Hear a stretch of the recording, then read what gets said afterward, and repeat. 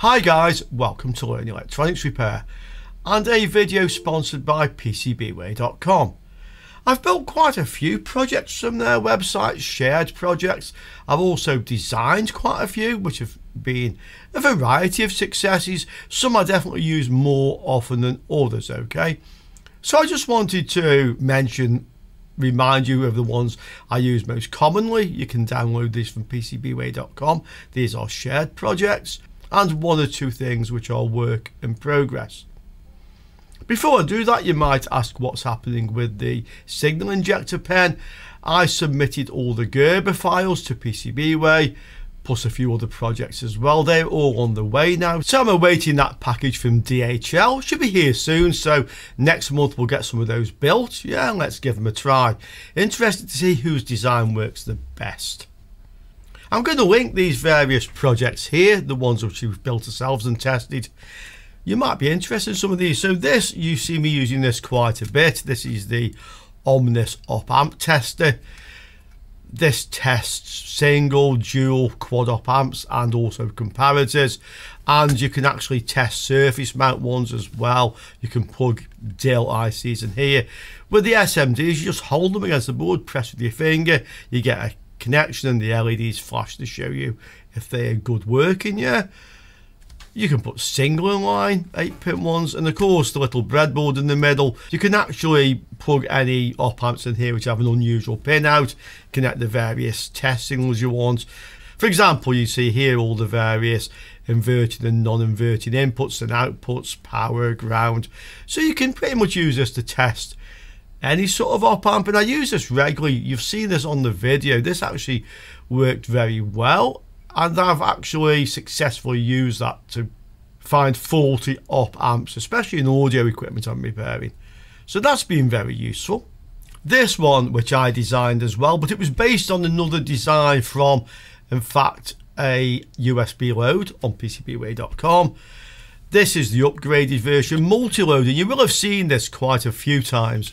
So with this one, you can put the display board on here. It will show you the voltage, the current, the wattage, and also you can have a PD controller on here as well. So you can actually control PD power supplies with this. Again, you've seen me using this or in the more basic form. I just plug a USB analyzer in here, connect whatever I want to load, and quite simply adjust the load here. Yeah and this will go up to about 140 watts. So that's been handy. Yeah it's got stuff stuck on it but this was home built after all yeah. And that's another one. So I'll also give you the link to this one. It's a very simple project very useful for loading USB but in fact you can load any power supply battery whatever power source up to 30 volts. I think actually 32 volts with this and up to 5 amps. So that's another one that's got quite a bit of use on the channel. And of course this one. This is almost infamous these days. This is the fake MOSFET detector both n-type and p-type. And this has found so many fake MOSFETs now. It's invaluable. I don't think if you're doing electronics repair, you can easily get away without this little bit of kit. Yeah. So again, you can order these PCBs from PCBWay.com shared projects but I'll link the video where we designed and used this as well and the great thing with this there's basically no active components on this yeah, there's very little to blow up if you do something silly with it. There's just some Zener diodes, LEDs, everything else is just resistors and big resistors. And that is something you can't really buy. Yeah, something to do the job this does. You can't really buy. So again, I'll link you that one if you've not seen it. I know a lot of you have seen it. Okay. And then similar from this one was this one. So this is the prototype of the destructive bipolar and for that matter MOSFET tester. So this actually tests the maximum current that you can pass through the MOSFET. And quite literally you just switch the switches adding one amp at a time. If the MOSFET fails before it reaches its rated current, It's fake. Yeah, so it will destroy fake MOSFETs, I will say. They'll go open or short circuit. And the same with transistors, N-type and P-type. If it withstands the current up to the rated level, it's fine. So it only kills fake ones, yeah? This tester goes up to 10 amps.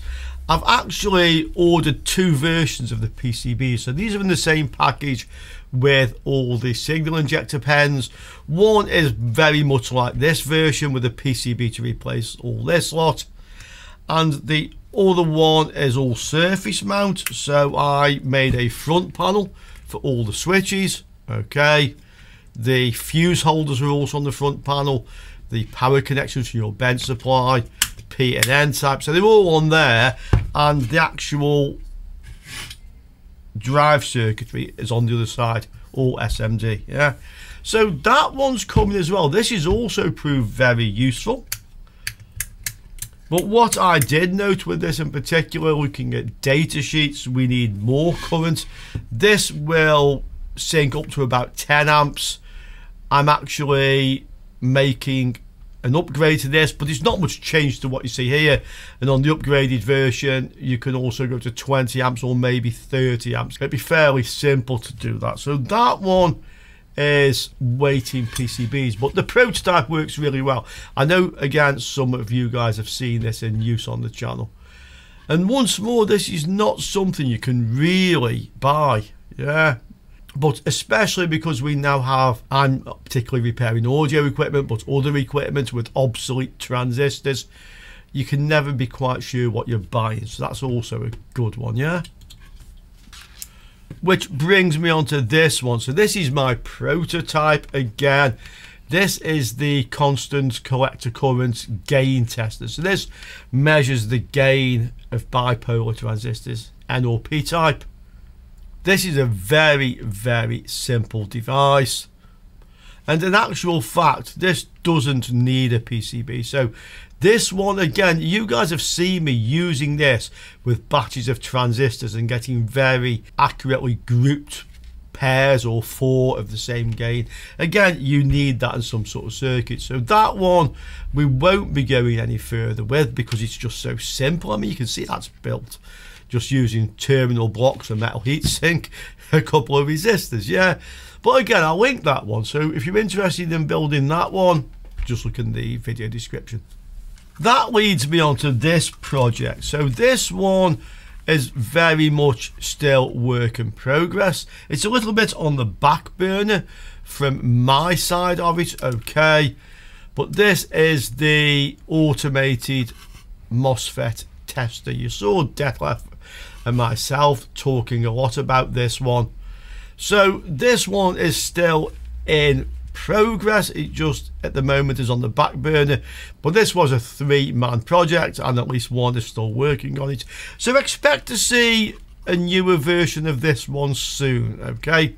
I think the next version will test up to 5 amps but we're hoping to produce an ATX power supply based version that will plot curves and graphs and that will go up to well basically whatever power your ATX supply can provide on 12 volts. Okay so that's the automated MOSFET analyzer tester and that is still in progress. So you will see more of this one in the future okay?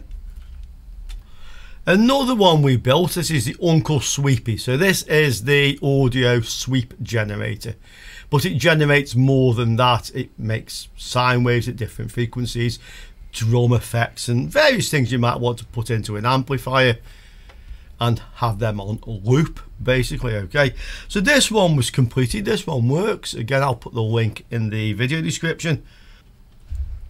As I recall my friend and colleague Carlos was going to 3D print a case for this, which didn't happen. So I'll ask Carlos again, actually, see if he'll do that. Be nice to put this in a little enclosure with just the screen and the one control, which is a rotary encoder. That's all we need. And the connectors on the back. Okay, so that one also worked really well. One of the first projects I built from PCBWay was this one. So this is the milliohm, in fact, micro ohm meter okay? This was a very simple design just a couple of op amps in there. And it works really well okay? Five digit display. I made my own Kelvin probes you can see them here out of SMD tweezers okay? And this actually works as well and as accurately as my Vichy VC480C so that's another really interesting project if you're looking for some cheap DIY test gear. It's proven and tested and works as well as this does. In fact it has a higher resolution than this does. Because with this one you can connect a millivolt meter if you have one to here and get an extra decimal place again. Yeah. And it already has one more decimal place than that one does so that's another really interesting one if you want to build it very simple circuit a couple of op amps some resistors that's about it really so again because it's such an old project now i will link that and you can have a look maybe you'd like to build one those of you who watch the channel regularly will know a little while ago we were talking about building this one. So this is another highly accurate micro ohm meter, okay?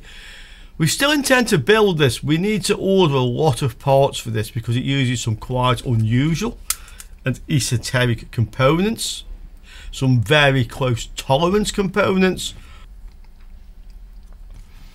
I know a lot of you are interested to see just how well this works. Because of the components it uses, it's not quite so inexpensive to build it, but I will do that. So I'll get together what I need and we'll put this one together and give this one a go as well. And just to conclude, these projects I use a lot as this one. So this is my RF frequency generator it goes actually from something like 10 kilohertz up into 250 megahertz or thereabouts and again you will see this quite a bit on my videos. I especially use this when I'm testing things like oscilloscopes to see how they react. Will they actually run at their specified frequency rating, yeah, bandwidth. So that's another one you'll see quite a bit. You'll see this is battery powered as well, okay. So this one was based on a project which is already on PCBWay.com on the shared projects. And I made some modifications to this. So this one now is battery powered, rechargeable. It runs from a LiPo cell. And the front panel, you know, the actual panel, and the rear panel are actually made from PCB material, you can see. So these again we design the panels and we put them onto PCBWay.com. So you can actually download the panels as well, actually. I mean, bear in mind these were made to suit this little case, which is something I found at the flea market. But if they're of use to you, you can download them. I have another set of PCBs here as well. So this is one I've not built yet. This is a subwoofer tester. Okay. We can see this is microcontroller based. It has an LCD panel which fits on here. I have quite a few of the parts actually for this one here now. So again, I think we'll build this and we'll have a look to see how well that works. But you know what? I've been nosing around on PCBWay.com. I'm going to show you just a few other things I found that may or may not be interesting. And here we are. So every now and then I like to have a look through the various projects on here so I normally look for test equipment projects, things I think you guys will be interested in. But I found this one. So this is a solder fume extractor. Now, quite a few of you have said I should be using one of these.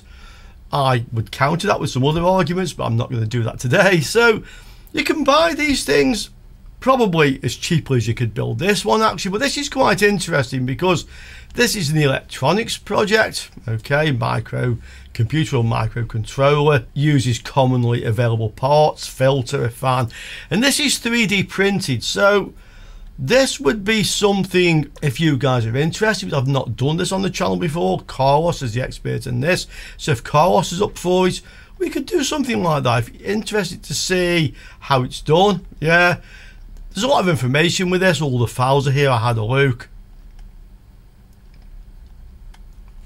Circuit is very simple. You can see that.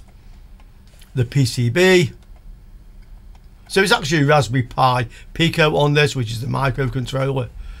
These are the LED PCBs. Okay. Luke even shows you how to assemble this, hot plates and all the rest of it. And goes on to assembling the main PCB. There's the module, Luke. Okay. And 3D printing. So are you guys interested in that sort of thing? If you are, let me know. And I will see if I can talk Carlos into it. We can build this. And that's something of a first on this channel. Okay. Here's another project on PCBWay.com. So with these projects, you're seeing these are submitted by viewers basically. You just join PCB PCBWay.com, register, and then you can put your own designs on here. And you actually earn commission. So basically, if somebody orders this, if I order these PCBs, 10% of the cost goes to the author, okay? This is a very simple project it would appear, and this could be useful for me. So this is a speaker protector. Yeah, you can see that speaker protection. The guy shows a video so you can adjust this here and at a certain wattage or voltage it will just disconnect the speaker with the big relay here. So this up to 30 amps which should handle up to 4000 watt amplifiers this is probably doing basically what the protection circuit does in an amplifier but given the amount of amplifiers in unknown states that get connected to my speakers here this could be rather useful and for anybody else out there who's doing audio repair because I've done it before I've blown up my own speakers by connecting a faulty amplifier that was in for repair not done it for a while and not done it on this channel, but this would stop that. it looks like such a simple device. I think I should build this. So again, what do you guys think?